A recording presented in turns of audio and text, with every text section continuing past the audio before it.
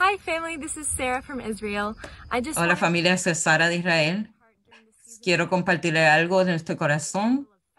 Según estamos en el medio de- del ayuno, de fiesta, en el tiempo del Señor y los propósitos del Señor en esta hora,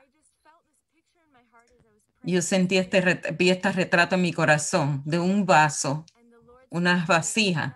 El Señor me dijo, no importa cuán pura sea el agua que entra en, la vasija, si la vasija no está limpia, no puede echar la agua pura afuera.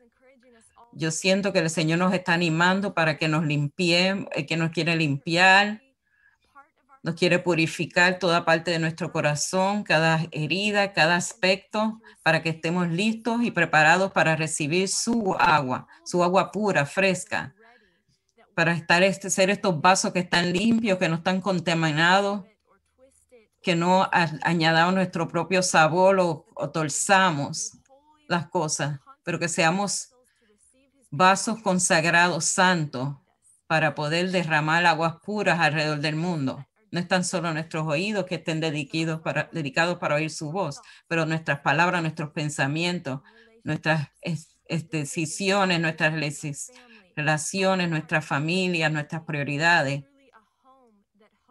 que todo esto sea un hogar que reciba el Espíritu Santo, que el Espíritu Santo se sienta bienvenido en todas las áreas de nuestras vidas, que seamos esos vasos dedicados a Él.